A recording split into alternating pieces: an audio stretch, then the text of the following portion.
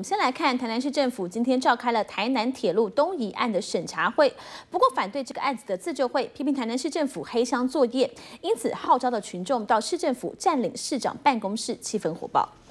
拒绝黑箱，拒绝黑箱，高举布条，为了争取举办听证会。二十七号下午，反台南铁路东移自救会的成员占领市长室，要台南市长赖清德出面说明。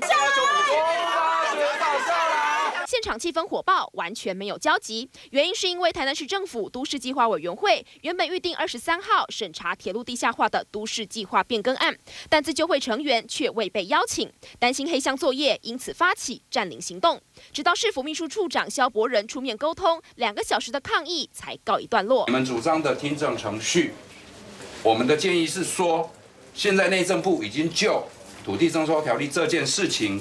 已经要把行政程序法上的听证程序的精神引进来，或者甚至把他的法条移植过来，也许更严谨，也许更宽松，我们不知道。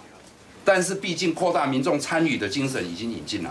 城东会广纳民意，也会在九月二号亲自向自救会成员答复是否召开听证会，这才让抗议民众的怒火稍微平息。我们这些事只是小小的要求一个听证会而已。依赖市长的他他所说的说要照顾我们这些居民，要跟我们沟通。